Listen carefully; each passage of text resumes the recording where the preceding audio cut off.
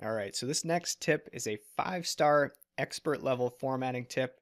We're going to talk about some of Excel's advanced custom number formats. Now, if you've been following along with the course, we have used some of these custom formatting options in the past. For example, when we used the triple semicolon uh, custom formatting type to make our text invisible, technically we were using one of these custom number formats, but realistically we were barely scratching the surface of what these tools are capable of. And in fact, there's an entirely different language or syntax behind the scenes that drives much more complex custom number formats. And what users don't realize is that you have the ability to format numbers based on four different conditions positives, negatives, zeros, or text. And that's what will allow us to create custom rules that we may only want to apply to positives or negatives or any other type of value that we've selected. Now in this demo, I'm going to cover things very quickly, keep things very high level. If you want to learn more and really dig into the syntax, follow this link here. It will take you to the Microsoft Office support site where they have some really deep, really comprehensive documentation where you can learn a lot more about the capabilities of these custom formats. So in this demo, we're going to take a look at a few different columns of data we're going to look at gross revenue, budget, and profit. And basically, we want to turn these raw, unformatted values into something like this. And basically, what we're doing is rounding down these very large numbers and adding labels like an M to signify millions. But the key is that we're not actually dividing the underlying value. It's still 3 million. We're just using a custom number format to change the way that number is displayed so that it's 3.00 with an M label. Now, one thing to note as we work through this demo, keep in mind that your numbers may look a little bit different based on your regional settings. In places where I'm using a comma to signify thousands, you may use a period or vice versa. Just keep that in mind. So we're going to walk through each of these examples step by step, but essentially this is what we're going to be doing. We're going to select a column of values, we're going to launch the number format dialog box. You can use that control 1 shortcut. We're going to go into our custom category and apply a rule like this one here for profit in order to format those values in a way that we couldn't do with standard tools. So same story with revenue and budget. We're going to go into that custom category, write our own custom rule, and transform it into something like what you see here. So common use cases, uh, maybe you want to apply custom formats to only positives versus only negatives to draw attention to certain patterns or trends. Or perhaps the most important or most common use case here is like I've shown to abbreviate very large values uh, with those K or M labels to signify thousands or millions without using a formula and without modifying the actual underlying value. So with that, let's jump into Excel and see how this actually works. All right, so in your pro tip workbook, head to your table of contents. You're going to look for the advanced custom formats demo in our formatting tips section. Go ahead and click the link. And what we're looking at here is a pretty simple data set. We've got about 50 rows of data looking at movie titles with gross revenue, budget, and profit, currently unformatted. And what I'd like to do first is play with this gross revenue column and show a version of it that's rounded down with that millions label so that it's a little bit more readable and that we can compare numbers a little bit more clearly side by side. So the first thing I'm going to do is actually create a duplicate. So I'm going to right click and copy column B and insert it right next to it. I just want to be able to spot check against my original column and make sure that these custom rules are operating as expected. So if we go ahead and select that entire column C, you can either right click, choose format cells or use the control 1 shortcut and navigate all the way down to our custom category. The first thing I'd recommend doing before you just start typing things into the box here is to actually look at the list of pre-populated custom options here because in most cases you have something that's going to get you close to what you need and then you can tweak or modify from there. So to get a sense for how this syntax really works, let's look at what some of these examples actually do. So the 0.00 will essentially force two decimal points, whether or not they're significant values.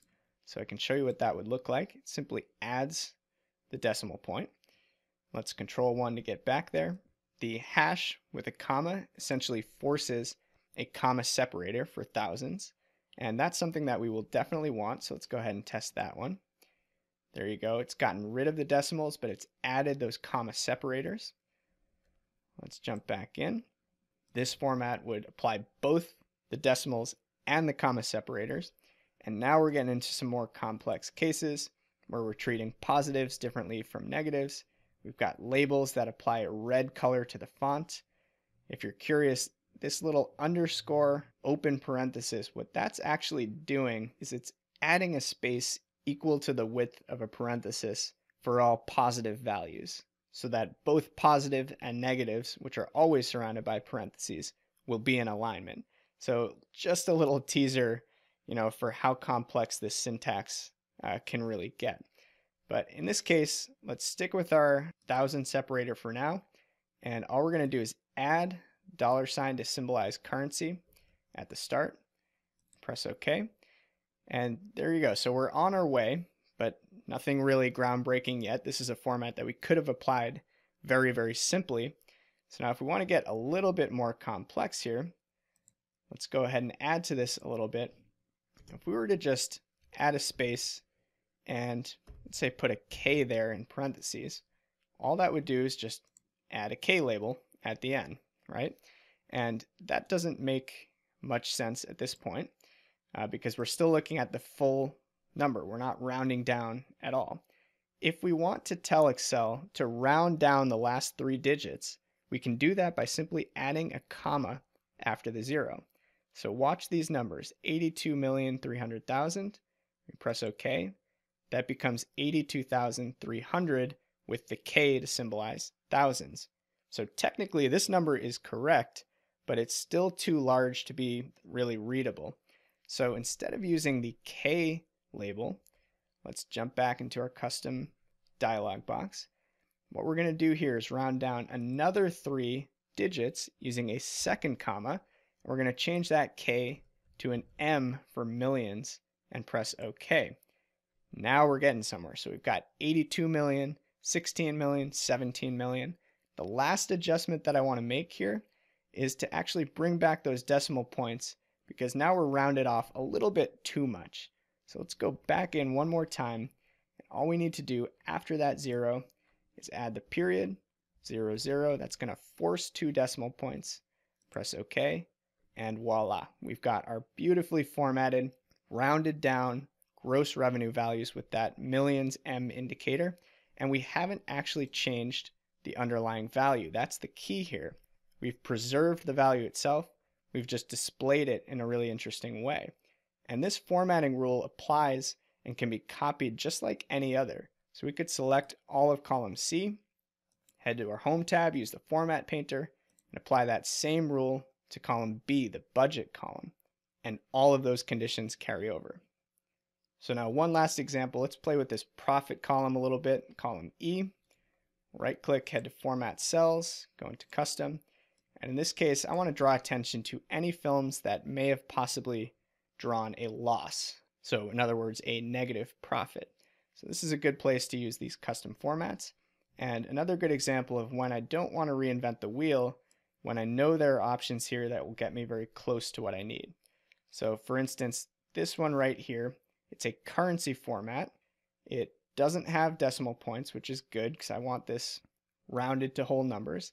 And it already has this red format with parentheses for negative values. And I know it's negative because it's the second condition after the semicolon. So let's go ahead and start with this one and press OK. And that gets me really close to what I want. It's showing me all of the positive profits as a traditional currency format and any negatives, in this case there's only two, as red with parentheses. And from here you could kind of tweak this as you see fit. You know, if we wanted to maybe go back into custom and make our positive numbers green, you could literally add brackets and type the word green and press OK. And there you go. It worked. It's not pretty. In fact, it's really hard to read and it's pretty ugly. But that applied a green format to the positive values. And let's go back and you know, because that green was a little bit harsh, maybe instead of the green, we just want a plus sign for positives. And then by contrast, we can add a negative sign before the red negative numbers. Press OK. And there you go. So you can start to see all of the flexibility here for creating your own very dynamic, very complex number formats using this custom syntax. So again, if you want to learn more, make sure to head to that office support link. They've got some great documentation there. Otherwise, that's your quick primer on advanced custom number formats.